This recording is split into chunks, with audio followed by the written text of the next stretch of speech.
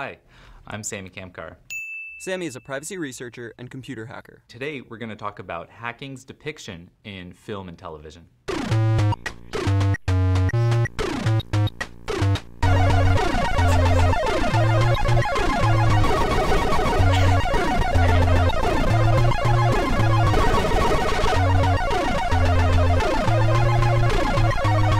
This clip is extremely accurate.